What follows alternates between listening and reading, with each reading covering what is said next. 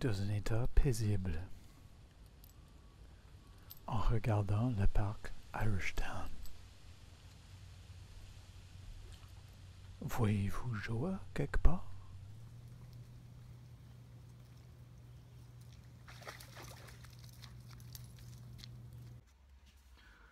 Bonjour et je suis très content que vous allez venir à ma fête puis que vous allez participer dans le tournoi de 200.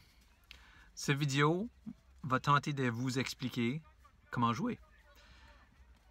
C'est un peu comme le fricot acadien. euh, J'ai demandé aux tantes à Natacha s'il y avait une recette pour ça, puis ils m'ont regardé comme j'étais fou. J'ai l'impression que c'est un peu la même affaire. Le, le jeu 200, c'est comme, c'est comme dans le sang. Pour ceux qui ne l'ont pas dans le sang, je vais essayer d'expliquer. C'est un jeu de cartes, donc ça prend un paquet. Et ensuite, on enlève les 2, 3 et 4. On n'a pas besoin. Qui va nous donner un paquet de cartes euh, avec 40 cartes? 10 de chaque sorte. C'est un jeu un peu comme au cœur ou au bridge ou euchre, ou ce que ce qu'on appelle un trick-taking game. Il y a deux parties. Il y a la partie gageure, la partie où ce qu'on joue pour voir si le gageure était bon. Je vais expliquer la gageure d'abord et ensuite comment jouer. Donc, le but du jeu, c'est d'obtenir 200 points. Euh, c'est qui qui fait ça? C'est, ça se joue à quatre personnes. C'est deux équipes de deux. Donc, par exemple, ça pourrait être Paul et Mylène qui fait une équipe, mais pas de pression. On commence par distribuer les cartes, puis on décide qui distribue les cartes pour commencer. On met les cartes face ouverte. Puis la première personne qui reçoit un pic va commencer à distribuer. OK? Donc cette personne-là, voilà, va faire couper le deck par la personne à sa droite. Clank, clank, clank. Et on distribue les cartes. Vous pouvez le faire à votre façon, un, deux, trois, comme, vraiment comme vous voulez.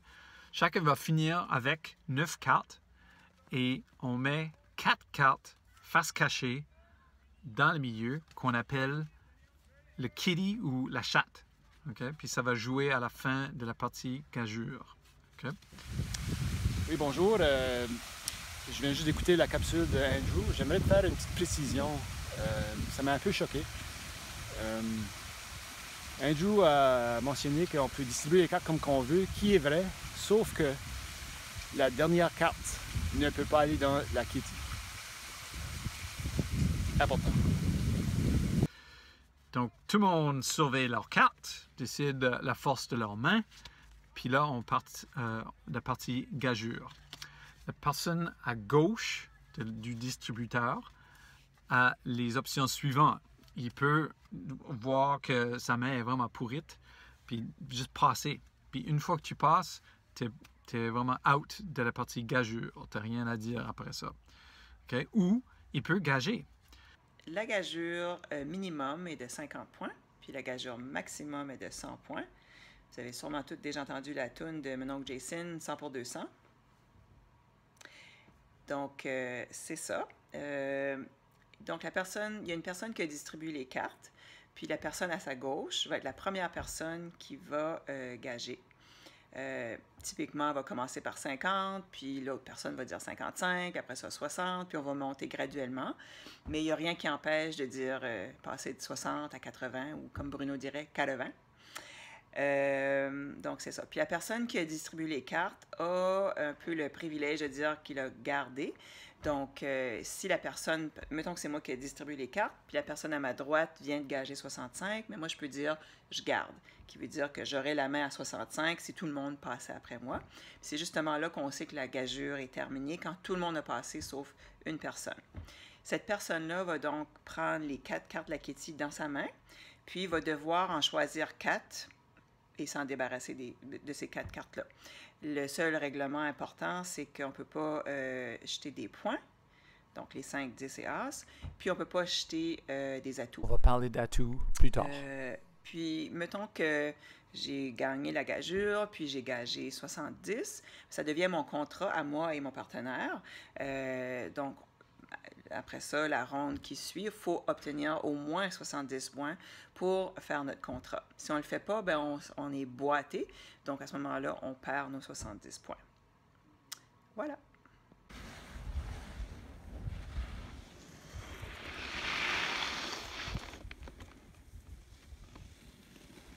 Pour commencer la prochaine partie, on va assumer que Paul et Mylène ont gagné le gage pour 70 points. Donc, on est rendu à la deuxième partie. On joue pour voir si Mylène et Paul sont capables de faire les 70 points qu'ils ont gagés. Donc, Mylène, vu qu'elle a gagné la gageure, elle commence. Elle met une carte. Disons qu'elle met, elle met une trèfle. Tout le monde, par la suite, est obligé de jouer au tour de rôle sans euh, de l'horloge. Puis si elle commence avec un, une trèfle, tout le monde est obligé de mettre des trèfles par la suite.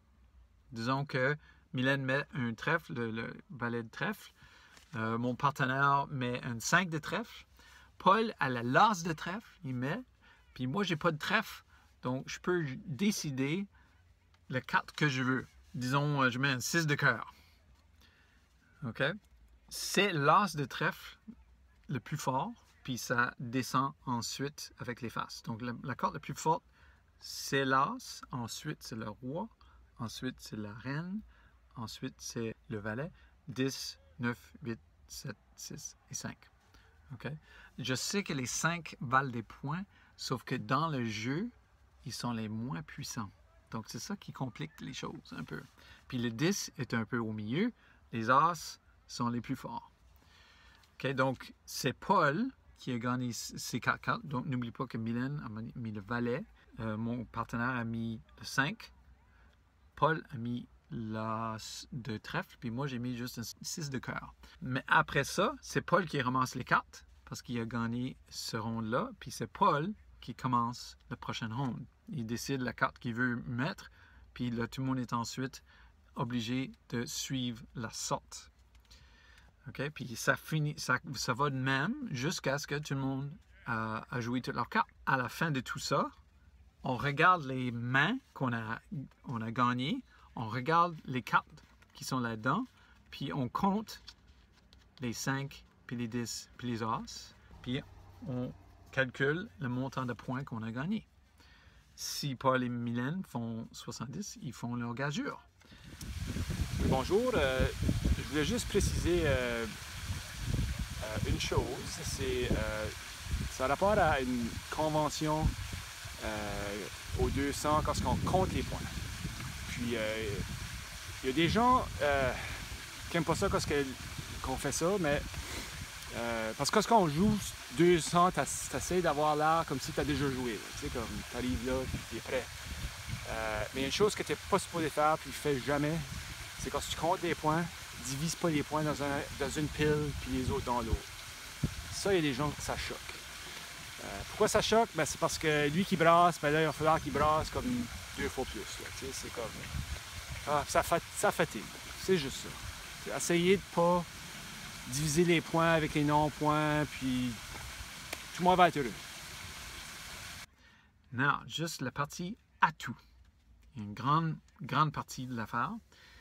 Mylène, parce qu'elle a gagné la gageure, elle a le droit, le privilège de décider que quelle sorte va être l'atout pour le jeu. Si sa main est très très forte, puis elle a beaucoup de, disons, euh, carreaux. Elle a l'as, le roi, peut-être un valet, le 10, puis un autre. Ça, c'est beaucoup. 5 d'une sorte, c'est beaucoup. Elle peut décider que les carreaux, c'est l'atout pour la ronde.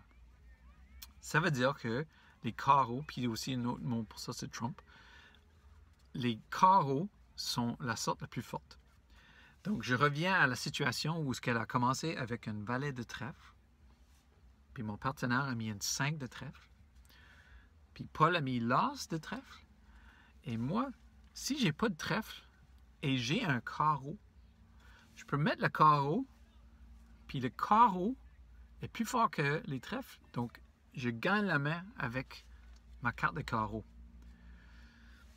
C'est possible aussi que deux personnes mettent de l'atout. C'est la- l'atout qui est le plus haut qui va gagner la main. Donc, l'atout, c'est une grande partie de l'affaire. Et c'est comme ça qu'on joue. Je suis très content que vous allez être là pour ma fête de 50 ans, puis on va faire un beau tournoi. S'il vous plaît, on garde l'esprit sportif à une grande, très très haut. Je ne veux pas avoir du monde déçu s'il part. Une coupe d'autres mini détails. Si on a 100 points ou plus, pour faire des points, il faut qu'on gage au moins une fois. C'est un petit quelque chose où est-ce qu'on approche la fin, euh, ça monte un peu la tension.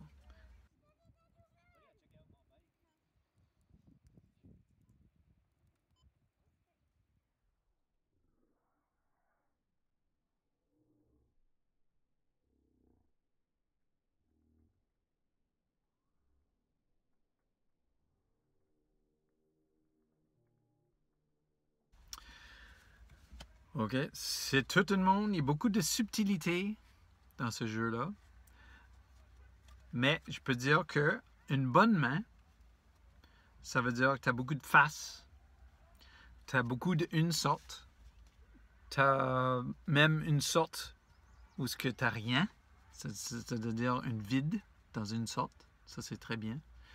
Tu n'as pas trop de points surtout des points secs. Ce que ça veut dire sec, ça veut dire que tu as juste une 5, par exemple, de une sorte, puis pas d'autres cartes. Ça, c'est pas très fort, pas très bon. On essaie, bien sûr, d'avoir les points, les cartes qui vont des points à la fin le plus possible. Donc, il va y avoir des situations où vous voyez que votre partenaire gagne la main. Donc, ça vous donne une chance de mettre une carte qui vale des points. Disons, que Mylène commence avec une valet de trèfle, puis mon partenaire mit l'as de trèfle. Paul, il met la reine de trèfle. Mais à ce point-là, je sais que mon partenaire gagne la main. J'ai pas de trèfle. Donc, je peux regarder ma main puis dire Ah, j'ai un 10 de pique. Je peux mettre ça sur la main. Puis là, dans ce cas-là, on est assuré 20 points parce que mon 10 de pique va 10 et l'as de trèfle 10 aussi. Donc ça, c'est des situations qu'on essaie de chercher pour pouvoir conserver les points dans notre équipe. Des fois, il y aurait des chances de gagner une main, mais vous n'êtes pas sûr. C'est à vous de décider si vous allez tenter de mettre un point parce que tu penses que ton partenaire va gagner la main des fois, c'est une question de jouer les chances. Aussi, il faut jouer en équipe.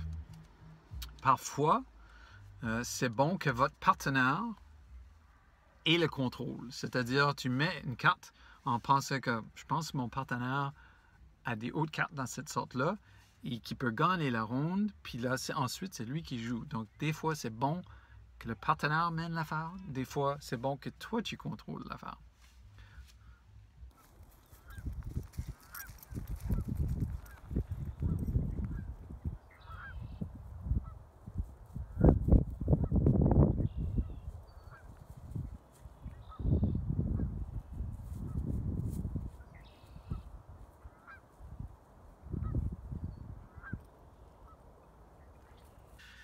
L'atout est très important.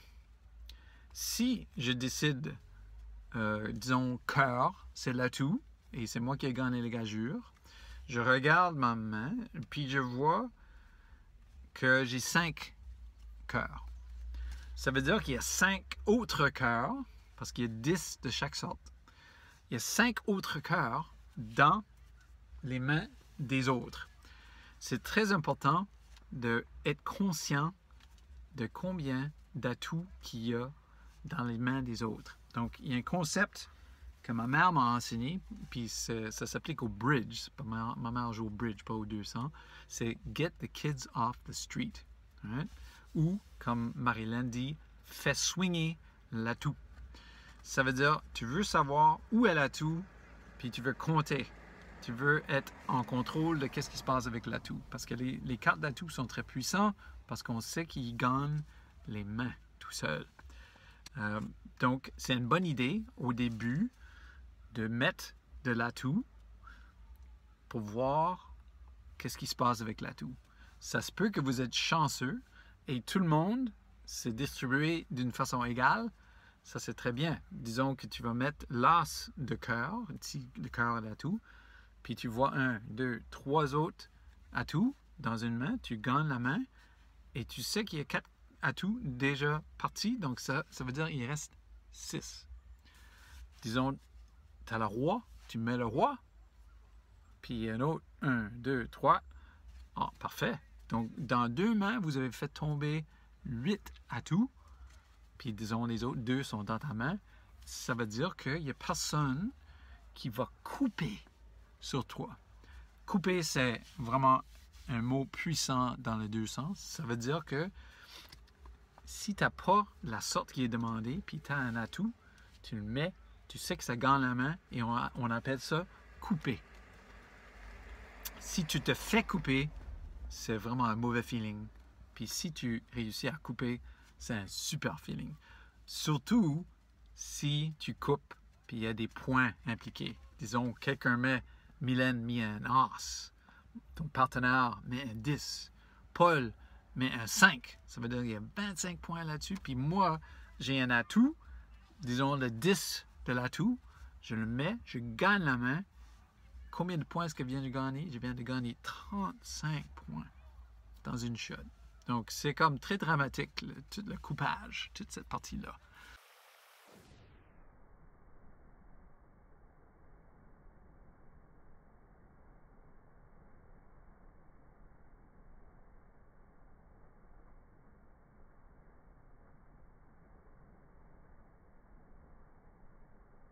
Il y a beaucoup de façons de jouer au 200.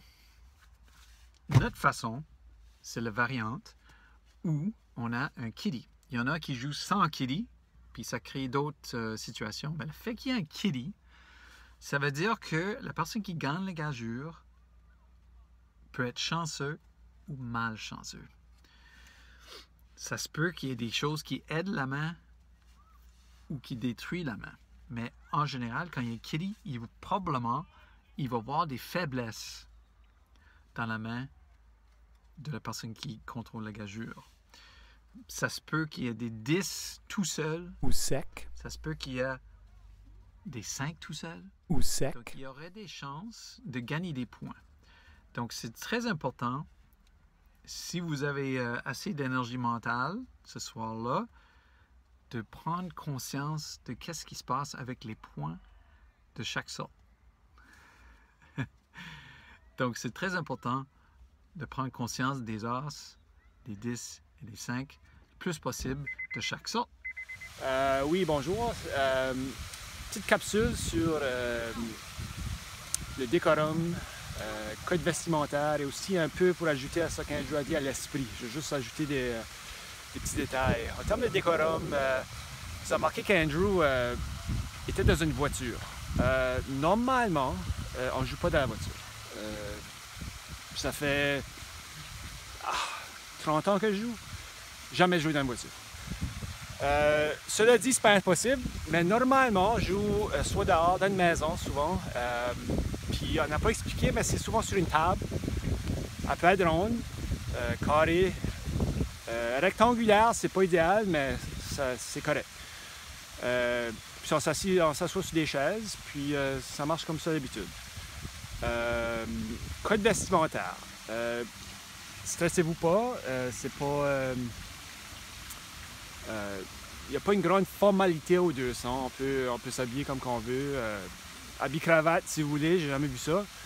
Mais c'est acceptable. Vous avez remarqué qu'Andrew avait un casse à l'envers. Vous n'avez pas besoin de porter une casquette. Je crois que ça peut aider des fois quand tu veux tricher. Ben, tu sais, les yeux. En tout cas, Pas qu'on triche, mais ça, ça existe. Euh, puis c'est ça.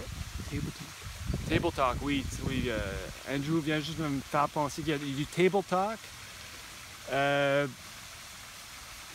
strictement interdit. Oui, c'est strictement interdit si vous faites pogner. Euh, mais sinon, ça marche. Euh, dernière chose pour l'esprit. Euh, Andrew a parlé d'esprit. Un jeu, on dit c'est pour le fun. C'est le fun, c'est sérieux par exemple, parmi certains. Euh, puis on apprend à nos enfants souvent de ne pas être un mauvais, un mauvais gagnant, euh, qui est important dans la vie, sauf aux 200. Euh, aux 200, c'est tout à fait acceptable. Euh, en autant que ça ne devienne pas personnel, on appelle ça du good old-fashioned ribbing. Encore une fois, en autant que c'est maintenu à un niveau respectable, on n'insulte pas la personne, c'est pas personnel, c'est tout à fait acceptable, on peut crier. Puis, euh, mais au fond, euh, en autant que vous ayez du fun, puis que les autres aussi ont du fun, tout va être bon.